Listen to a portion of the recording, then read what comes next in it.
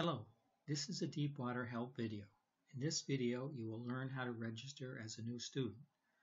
The first step is to open a browser and go to deepwatersim.com. Go to the registration area and click on the blue New Students button. This brings you to the student registration page. Registration is simple and requires only a small amount of information. Enter your first name and then your last name. And then you need to enter your email address.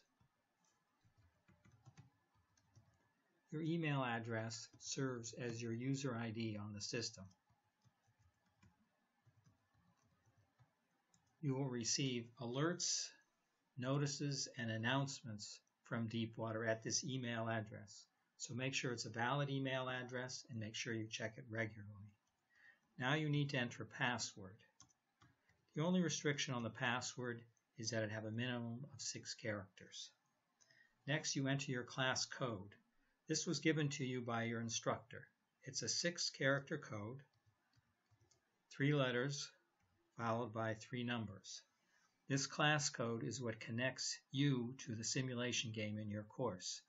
If you do not have a class code, you need to talk to your instructor and get one. The purchase key is optional. You will have a purchase key only if you've purchased Deepwater from your campus bookstore or if your department or university has paid for your access, and then they will give you a purchase key. So if you don't have one, don't worry at this point. You will be paying for Deepwater directly uh, later in the registration process. Read the terms of use and accept those. Read the privacy policy and accept that and then click on the registration button. And now you have registered for Deepwater. You can go to deepwatersim.com and log in with your new ID and password.